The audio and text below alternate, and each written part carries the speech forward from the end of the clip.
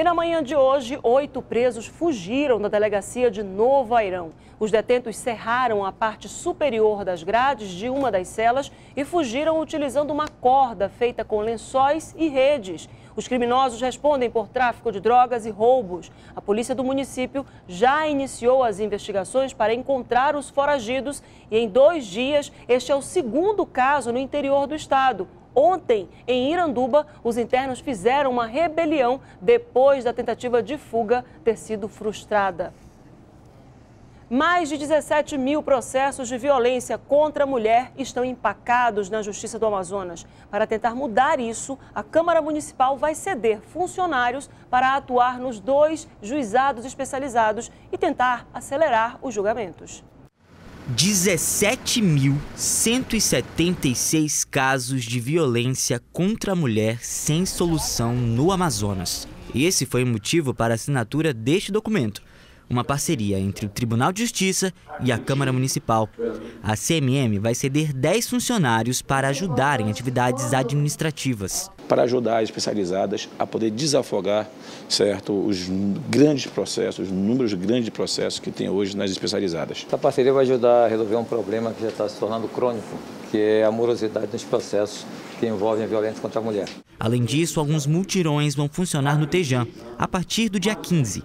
Intitulado Justiça pela Paz em Casa, o evento é executado pelo Conselho Nacional de Justiça e quer priorizar os casos Maria da Penha. Os mutirões vão funcionar mais ou menos assim. Além dos 10 funcionários aqui da Câmara Municipal, vão vir sete juízes do Tribunal de Justiça que trabalham no interior aqui para a capital. O objetivo a cada evento é tentar solucionar 1.500 processos e assim tentar reduzir de 30% a 40% o número de casos empacados na Justiça. A maior incidência é de lesão corporal e abuso sexual.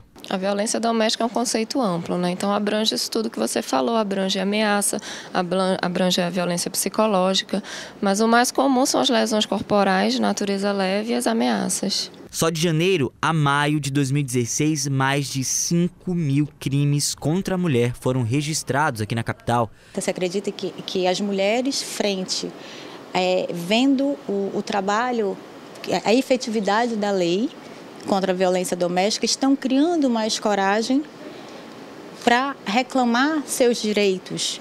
As medidas já devem ser adotadas a partir da próxima semana e são válidas por 24 meses.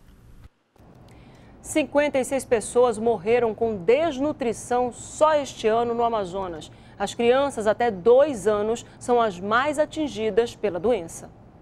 Quem ver o pequeno Matheus hoje com 16 quilos não imagina o que ele e a mamãe Kesiane já passaram para conseguir este peso aos 5 anos de idade. Quando ele era menorzinho, ele, sempre tinha muito vômito, diarreia, ele era um menino todo tempo gripadinho. Situação pior passou a pequena Giovana. Por causa de uma doença, ela recebe acompanhamento nutricional desde os 15 dias de vida ela nasceu com problema de refluxo. Aí me indicaram para cá, né, que aqui tinha uma pediatra muito boa, especialista em acompanhamento de bebê. E aí, quando eu cheguei aqui com 15 dias, ela passou os remédios direitinho que eu tinha que passar para ela. O que essas mamães têm em comum é o medo da desnutrição. Desnutrição é um estado em que a, o organismo não recebe os nutrientes necessários na quantidade necessária e em qualidade também. Até junho deste ano, 56 pessoas morreram com desnutrição aqui no Amazonas. Em 2015, foram 49 óbitos, um crescimento de 14% em comparação ao mesmo período do ano passado. Crianças nos dois primeiros anos de vida são as mais afetadas.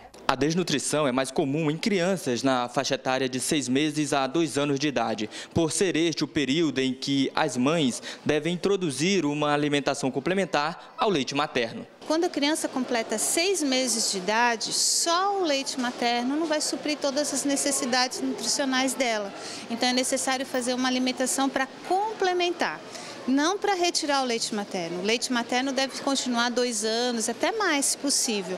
A Melissa ainda nem fez um aninho, mas já come de tudo. Parece até que já sabe da importância de se alimentar bem. A Melissa come de tudo. A Melissa é filhotinho de índio, gosta de cará, gosta de macaxeira, come de tudo. Para diminuir o índice de mortes, o acompanhamento da doença é feito aqui em Manaus e no interior. O estado do Amazonas, a gente trabalha com a política de alimentação e nutrição, né? Que a gente, essa política, ela é uma política que tem vários programas, onde é, a gente dá esse apoio aos municípios, né?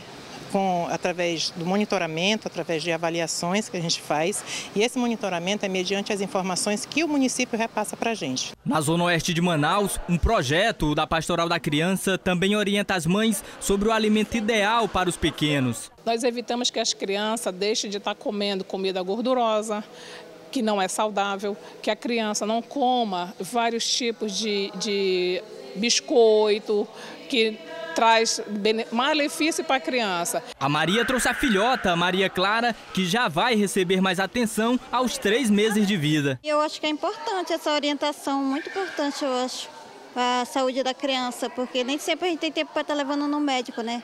É melhor mesmo ver essas crianças crescerem saudáveis. É mais bonito elas assim, sapecas e com todo o gás. Com certeza, né? Ontem, o último dia olímpico na Arena da Amazônia foi marcado por empates. Estados Unidos e Colômbia ficaram no 2 a 2. Brasil e África do Sul não saíram do zero. Hoje, as seleções se despediram da capital.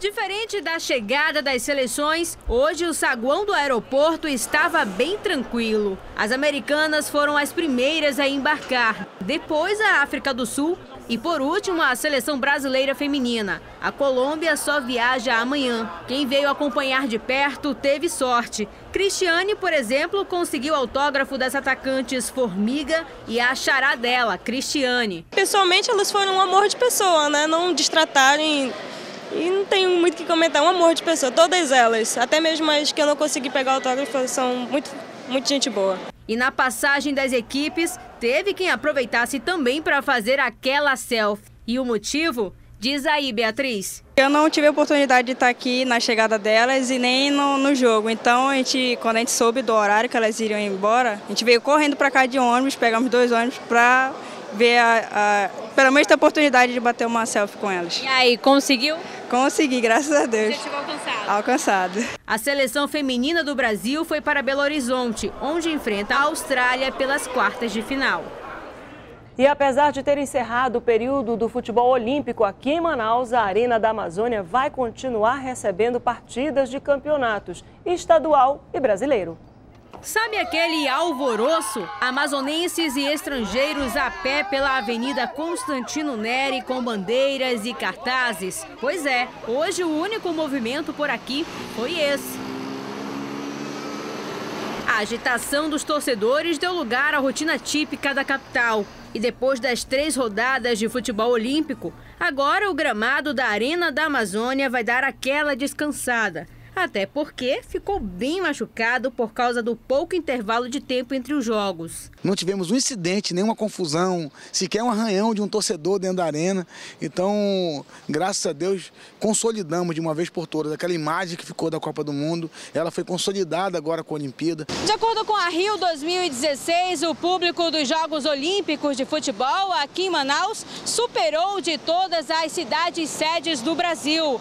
Durante as seis partidas, aqui Aqui na Arena da Amazônia passaram cerca de 120 mil torcedores. O público superou o da Copa do Mundo de 2014. Tivemos aí o recorde que foi, que foi atingido no dia de ontem, com 100% da casa cheia, 90% dos ingressos vendidos. Os primeiros e segundos dias também ultrapassamos os 70% dos ingressos vendidos. Enfim, foi uma grande festa aqui na nossa Arena da Amazônia, em Manaus. É, jogo por aqui só mesmo a partir do dia 24 de agosto, clássico do Campeonato Amazonense entre Rio Negro e Nacional. No dia 6 de setembro, partida eliminatória para a Copa de 2018 entre Brasil e Colômbia. E no dia 12 de outubro, Fla-Flu pelo Brasileirão na Arena da Amazônia. Eu acho que tudo isso somado transformou a nossa arena num produto fácil de se vender e como uma, uma ferramenta importante na captação de grandes eventos e movimentação da nossa economia. O movimento na Ponta Negra no live site também foi grande. Ontem, cerca de 42 mil pessoas estiveram aqui. Muito bom, o pessoal aqui vieram em peso.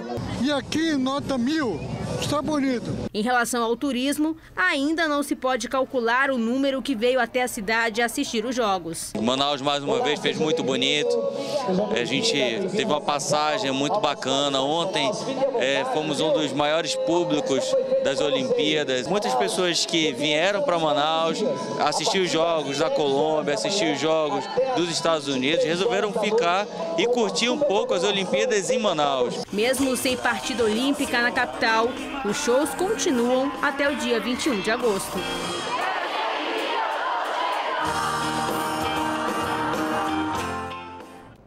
O Jornal em Tempo de hoje termina aqui. Uma boa noite para você. A gente se vê amanhã às 6h15.